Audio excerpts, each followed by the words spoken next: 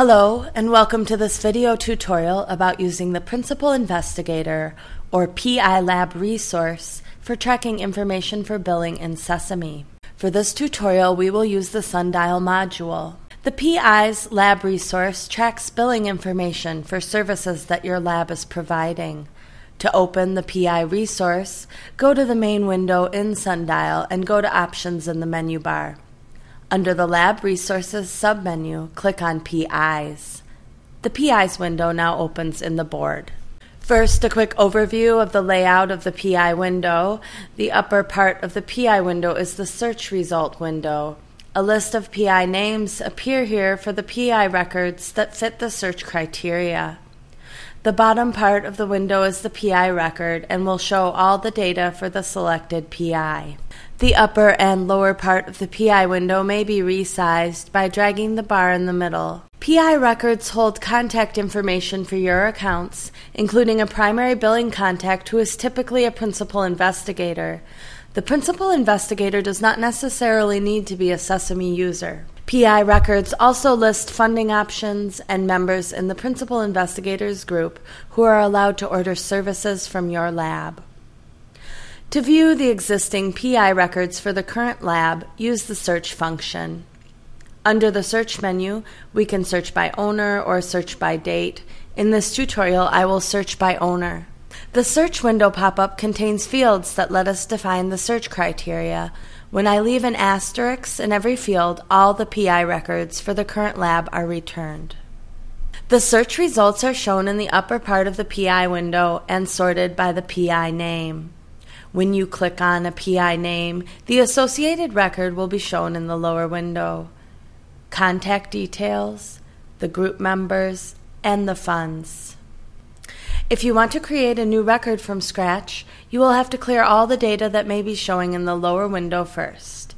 To do this, go to the PI menu and select Clear PI. To create a new record, first enter the relevant data, starting with the PI name. Fill in any additional fields that you might like to track. Click Save as New PI in the PI menu to create a new PI record in the database. Every PI name must be unique in a lab. PI records include a list of group members who may use the services your lab provides. The PI is responsible for paying the bills incurred by the ones listed here for the services provided. Group members must be registered as Sesame users to be added. The billing details and the access to the services provided for the individual group members is defined in the Permits lab resource. Managing permits is discussed in a separate video. To add the PI's group member to the record, use the Group Members field. Click on the green plus button to the right side of the Group Members field. Search for the user here.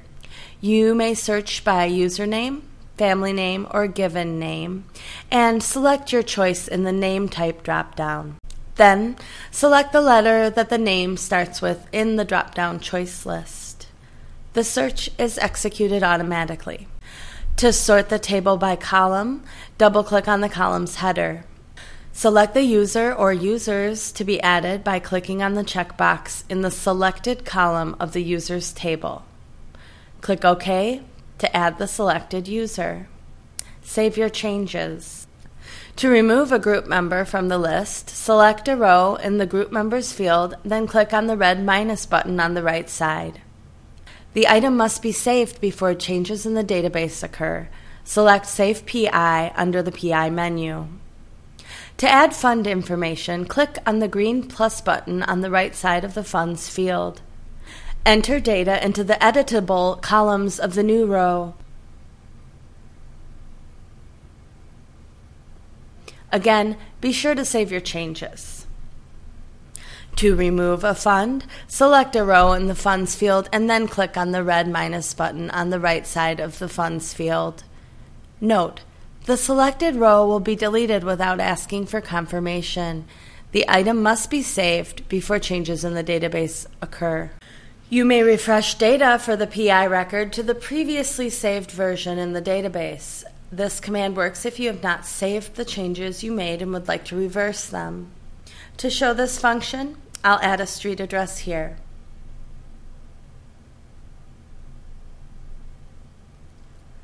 I haven't saved this yet, and now we'll select Refresh PI from the PI menu to restore the previous record. The user will be given an option to proceed and discard the changes or to cancel the refresh operation. The change I just made, the new address I just added, is now removed and the record is refreshed. To delete a PI record from the database, select the PI record from the search results window and on the PI menu click Delete PI. Click Remove PI in the Are You Sure pop up. This will permanently delete the PI record from the database.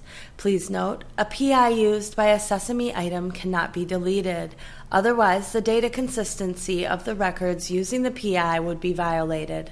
To close the PI window, go to the PI menu and select Close PI, or you may click the X button on the Windows title bar. If the content of the view has been modified since the last save operation, the user will be given an option to proceed and discard changes or to cancel the operation. Thank you for taking the time to watch this video, and please refer to the help pages on the Sesame website for any further questions.